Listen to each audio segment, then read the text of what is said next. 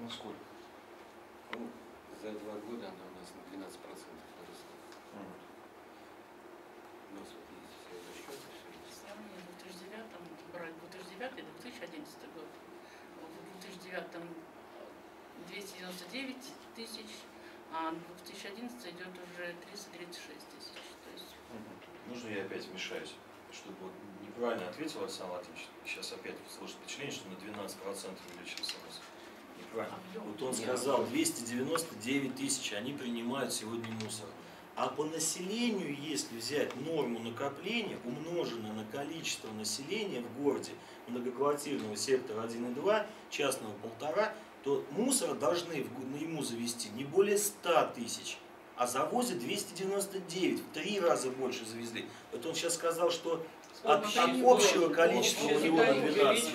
И Чтобы- чтобы Да, чтобы вы правильную информацию дали. А то скажешь, на 12% подняли мусор, а говорите в два раза в три раза. Тем больше. более мы, мы- да, это идет у нас уплотненный мусор, 80% уплотненного мусора. Вот сегодня и Цезис реально занимается благотворительностью. Я не собираюсь их как бы защищать, это их бизнес. Они сегодня занимаются благотворительностью, потому что мусоровозы, которые сегодня, ну, рабочие мусоровозы, они с- э, привозят с коэффициентом уплотнения там 1,9, да, если не ошибаюсь. То есть фактически он почти Два в два раза больше привозит сегодня мусора. А он ему выставляет, так как весовой нет, он ему выставляет по нормативу, по объему кузова. То есть если у него мусоровоз там скольки, 6, 6 Восьми. Восьми, восьми Идет кубовый, да, 18. реально сжал мусор в два раза больше привез, он ему выставил за 8. То есть почему и мусор это в два раза, три раза больше привозит? То есть, э, А была бы весовая, он взвесил этот мусор без вообще уплотнения. Получается, что ее невозможно? Нет, весовая была, поэтому ее можно. Да, если была весовая, то можно Ну. было работать в тоннаже и конкретно Ну, говорить. здесь да. давайте так, вот вернемся есть еще, можно еще один но аспект осмотра. Даже вот весовая плита м, точно не скажет, потому что у нас мусор э, по весу э, будет разниться по году. То есть зимой один вес имеет, Сезон. весной, когда идут субботники, когда все подметают, в контейнерах вот так называемый смет, да, когда контейнер поднимаешь, у него днище отрывается. Вот, понимаете? Поэтому здесь тоже не панацея весовая. А в объеме он может быть такой же, а по весу может быть в разы больше. Объем больше, а масса может.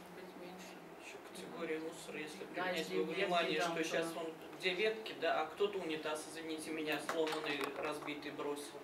Вот э, связано с этим проблема утилизации, с тем, что мусора приводится больше для вас? Конечно, же получаем Как, тоже ну, каким образом тогда? Расскажите. Меньше денег, меньше возможностей что-то там. сделать, Мы обязаны изолировать, что мы делаем. изолируем. Нас лицензия сегодня скромна, да, я тоже, так сказать, добавлю. Вот в лицензии, которая сегодня существует для, у них, значит, э, есть определенные категории мусора, которые они принимают. Вот они не имеют права принимать ветки и строительный мусор сегодня. То есть это проблема как бы не их. То есть городские власти должны организовать сбор, утилизацию веток и строительного мусора.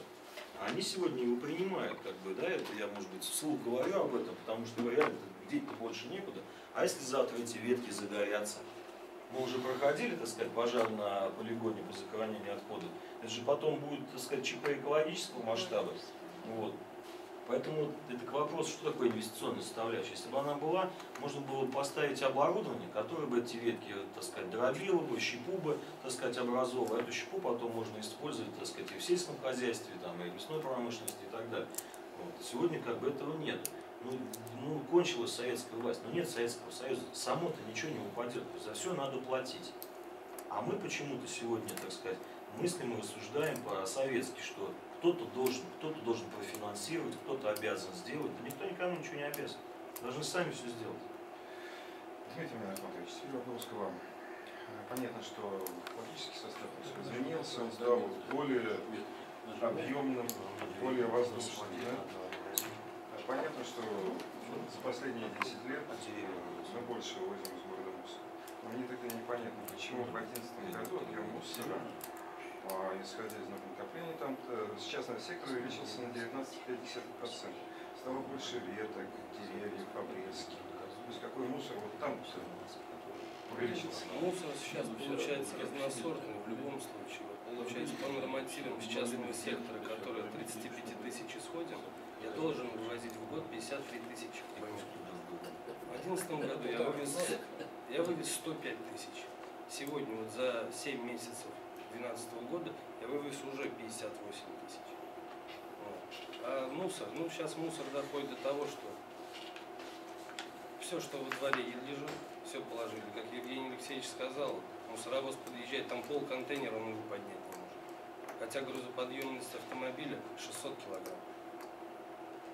Мусор разносортный, причем очень разносортный. И там сказать, что когда-то сегодня сейчас будет одно, сейчас вот осенью пойдет ботва. Уже- Мусор уже уже, пошла. Вот. Раньше, когда вот два года назад пожарные ввели запрет на сжигание деревьев на своих приусадебных участках, теперь вот получается весна, после того, как морозы спадают, начинают проводить работы, все эти ветки, не то что ветки, просто дерево, вдвоем, троем несут, я плачу говорит, 24 рубля, возить, оставлять на контейнерной площадке. Ну, чтобы его убрать, его надо распилить, его надо в машину сложить, плюс машины-то большие, что иногда даже самосвалов не хватает. Нанимаем другую и потом руками разгружаем Мерседес.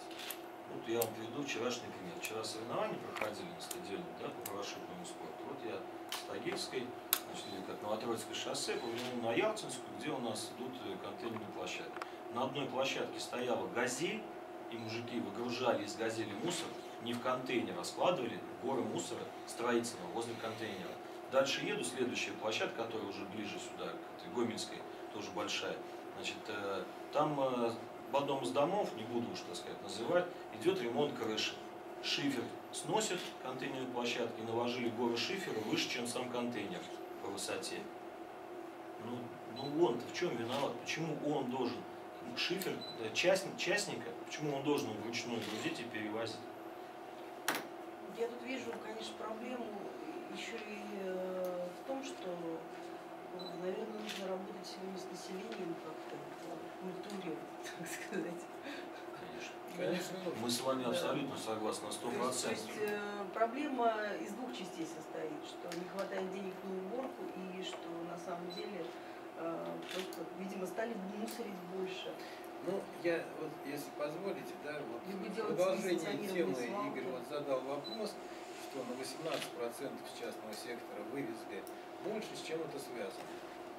А вывести могли на 50 больше, не весь же вывезли. Мы же видим картину, понимаете? Это насколько у него силенок хватило, насколько чаще его стали пинать, толкать и так далее. Иди, давай, вперед, куда деваться. Вот это показатель не того, что население стало больше делать, ну, конечно, стало больше разы. Это показатель того, насколько больше он стал вывозить, именно насколько э, смог он вывести. Понимаете? Ну, а вот э, Но можно решить количество рейсов, штрафами, да? например, Нет, подождите, количество рейсов он не сможет увеличить без э, бензин, машина без бензина не поедет. Бензин повышается, никто ничего не это, не пытается его там водой заправить или договориться с, с колонкой, правильно? Повышается бензин, у нас тариф стоит на месте. Полгода стоял на месте, у нас многие предприятия подсели из-за этого. Чего греха таить. Сейчас э, нас укоряют, на 6% вам подняли, вот и все. Вчера меня обвинили в том, что я очень ловко устроился. Ну, не надо. Я к тому, что вот смотрите, проблем-то много, и все эти виды проблем. Но никто, вот кроме главы города, так сказать, и коммунальщиков, ну там районной администрации, понятно, помогает. Договариваемся с промышленным предприятием, нам ЮМС, там ча- частники выделяют технику, там специализированную. Я сейчас никого не хочу обидеть, многие из предприятий помогают. Кто фронтальные погрузчики выделяет, кто самосвалы, кто-то даже ГСМ помогает выделить. Но это опять же, вот мы занимаемся, да, а никто же ничего взамен-то не предложил, только все могут критиковать. Депутаты, допустим, от многих депутатов, не, от- не от вас, от вас, допустим, я реально всегда помощь видел и вижу. То есть от ряд депутатов идет критика, но ни один из этих крити- критиков, он не предложил альтернативу ни одну. Не дал совет, как из этой ситуации выйти. Критиковать, ну, все могут, и каждый могут друг дружку обвинять. Дайте альтернативу, мы за бесплатно будем возить. Научите технику не заправлять, научите людям не платить. Мы будем за бесплатно работать.